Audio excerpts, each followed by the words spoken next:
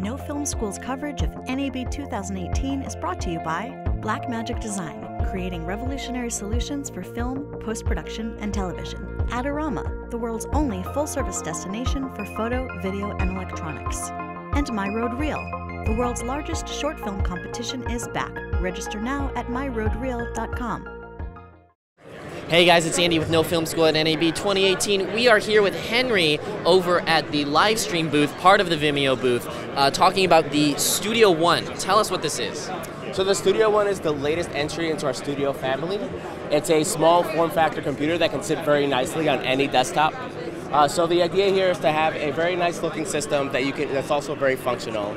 So uh, our studio software is a multicam switching software, and the unit can support up to four uh, inputs.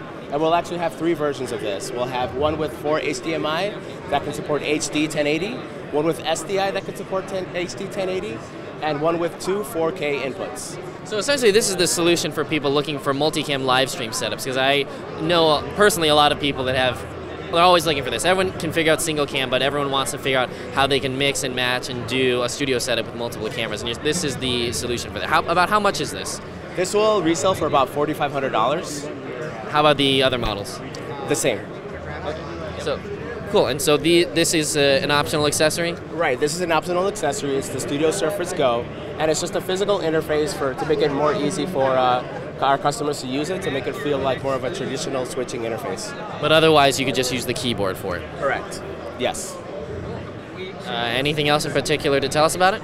Uh, well, nothing in particular with the unit specifically, but the software also supports uh, custom graphics and DDR playback as well as isolated recordings.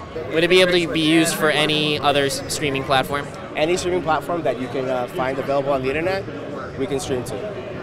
Great. Thank you, Henry.